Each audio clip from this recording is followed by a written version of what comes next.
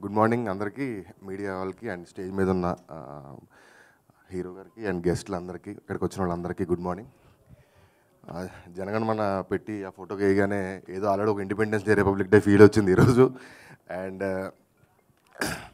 జనరల్గా మనకి పండగలు ఎందుకు వస్తాయి అని అనుకుంటానంటే నేను రాముడు సీత ఏం చేశారు వాళ్ళు మన కోసం ఏం చేశారు అది గుర్తుపెట్టుకోవడాక సీతారామ కళ్యాణం అని పెట్టి పానకం పెట్టి వాళ్ళకి ఒక కళ్యాణం అని ఒక ఈవెంట్ పెట్టి మనకి ప్రతి పండగకి ఒక ఈవెంట్ దానికి ఒక యాక్టివిటీ క్రియేట్ చేసి చేయడం వల్ల ఇన్ని వందల ఏళ్ళైనా కూడా అది మనకు గుర్తుంటూ వస్తూ ఉంటుంది. అంటే ప్రతి ఈవెంట్ అది సెలబ్రేట్ చేసుకుంటాం కానీ తెలియకుండా ఆ కథను మళ్ళీ మనం రిమెంబర్ చేసుకుంటుంటాం.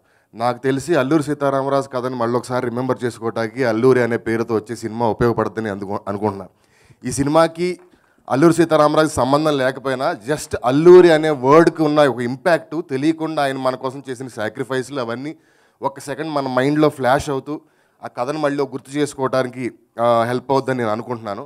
అండ్ దీనికి నిజాయితీకి మారు పేరని ఫస్ట్ నాకు ఆయన పోస్టర్ పంపించినప్పుడు ఇమ్మీడియట్గా అనిపించింది. అంటే సినిమాలో స్క్రిప్ట్లో ఎంత నిజాయితీ లేకపోతే ఆ పోస్టర్ మీద పేరు వేయడానికి దమ్ము సరిపోదు జనరల్గా అండ్ దానికి ఒక ఎగ్జాంపుల్గా నేను నేను లైవ్లో విట్నెస్ చేసింది ఏంటంటే ఒక టూ డేస్ బ్యాక్ గోపి గారు ఈ పోస్టర్ తీసుకుని మీ ఇద్దరు కార్లో ట్రావెల్ చేస్తున్నప్పుడు ఒక ఫ్రెండ్ ఒకళ్ళు ఫోన్ చేసి ఈరోజు చిరంజీవి గారిది ఫస్ట్ లుక్ లాంచ్ ఉంది.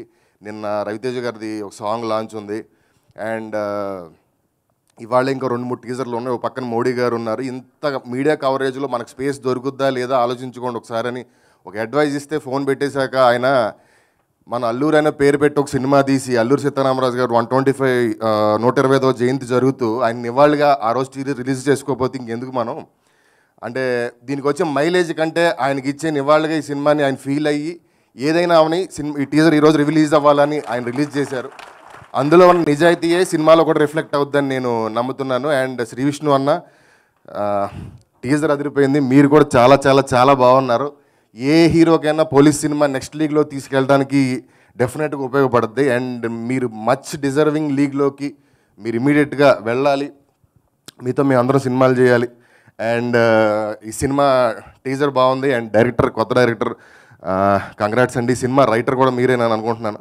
అండ్ అందరికీ టెక్నీషియన్స్ అందరికీ ఈ సినిమా పెద్ద హిట్ అవ్వాలని కోరుకుంటున్నాను. అండ్ చాలా మంచి టాక్ ఉంది సినిమాకి ఎయిటింగ్ రూమ్ నుంచి. ఎంత మంచి టాక్ అంటే టీజర్ రిలీజ్ చేయకముందే ఆంధ్ర తెలంగాణ ఆల్మోస్ట్ క్లోజ్ చేసినట్టున్నారు మా గోపి గారు.